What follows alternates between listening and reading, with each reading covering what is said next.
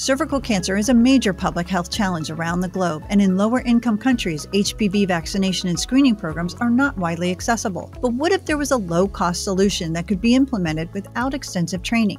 We'll explore the future of cancer detection in the U.S. National Science Foundation's Discovery Files. HPV DNA testing is one of the best ways to screen for cervical cancer, which claims the lives of 300,000 women each year. But in developing countries, materials, equipment costs, and the technical staff required to carry out testing has made it difficult to standardize. Thanks to new developments, that may soon change. NSF supported bioengineers at Rice University are addressing gaps in care by developing a testing platform for HPV 16 and HPV 18 DNA, which cause most cervical cancers worldwide. The tests combine two technologies isothermal DNA amplification and lateral flow detection greatly simplifying the equipment needs and procedures for the screening. The integrated test uses a disposable cartridge that contains all the ingredients needed to take a sample to results in six simple steps. This platform could revolutionize cervical cancer screening, and if scaled into commercial production, each test could cost less than $5, opening screening accessibility to point of care testing around the world. To hear more science and engineering news, including the researchers making it, subscribe to NSF's Discovery Files podcast.